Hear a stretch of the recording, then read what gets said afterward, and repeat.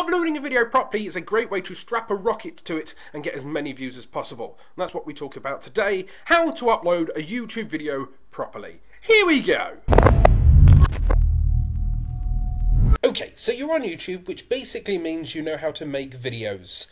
And now that you've made a video, you need to learn how to upload it properly. So first of all, you click on the upload and you pick the file that you're uploading. Okay, in this case, it is my thumbnails that I, I do my my random testing with. So here, you put in your title. You'll see here I automatically have my description filled in through the upload defaults. The upload defaults is in your channel page, right? But in your description, this is where you would write what the video happens to be about. In my case, I also include hashtags because the new system allows hashtags. So you title your video, you describe your video. So this is the test video. Now, imagine that test video is actually a keyword that I'm hunting for. Today, I teach you all about test videos, deep diving into the world of YouTube and test videos. So this is a screen that you're used to. I've entered the description. You'll see here it's automatically generated a thumbnail, which is brilliant. That that's that's a fantastic auto thumbnail. Okay, now You'll notice here that I've got kind of a little bit of guidance here. This is an upload checklist from TubeBuddy. Now, it's very, very clever. It will actually guide you through the rest of this video. So, first of all, you write a catchy, a catchy title, test video. Or, why is this a sexy video about tests? Okay, you write a unique description. Okay, that description should once again match up to your, your title so therefore it reflects some of the keywords that are in there, and then you make sure that you write relevant tags. Now your tags are down here.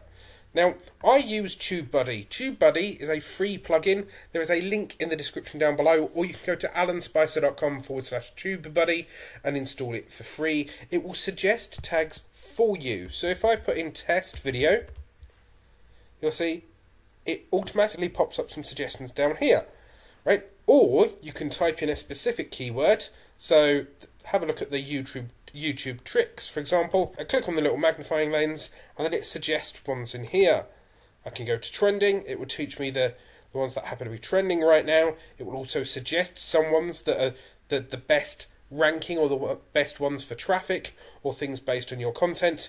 And then you can pick a few, right, and then you can insert them into your video. I'm going to pick a load of random ones because it's an example and then I click insert into current video, insert. And ta-da! The tags are filled out. Okay, so you've now written your tags, you've made sure that you've got a click-worthy thumbnail, in which this case it's auto-generated one, right? But what you can do is go down here, create your own custom thumbnail. For example, I'm going to pick this one, click open, and then it pops down there.